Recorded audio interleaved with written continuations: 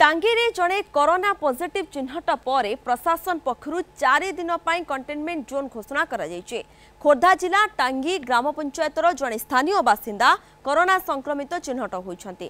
ଯାହାଫଳରେ ସ୍ଥାନୀୟ ପ୍ରଶାସନର ଚିନ୍ତା ବଢ଼ିଛି। ସଂକ୍ରମିତ ବ୍ୟକ୍ତି ସ୍ଥାନୀୟ ଅଞ୍ଚଳର ହୋଇଥିବାରୁ ସଂକ୍ରମଣ ବ୍ୟାପିବା ଆଶଙ୍କାରେ ଖୋର୍ଦ୍ଧା ଜିଲ୍ଲା ପ୍ରଶାସନ ଟାଙ୍ଗି ପଞ୍ଚାୟତର ସମ୍ପୃକ୍ତ ଅଞ୍ଚଳକୁ ଆସନ୍ତା ତିରିଶ ତାରିଖ ଦିନ ଦୁଇଟା ପର୍ଯ୍ୟନ୍ତ କଣ୍ଟେନମେଣ୍ଟ ଜୋନ୍ ଘୋଷଣା କରିଛନ୍ତି।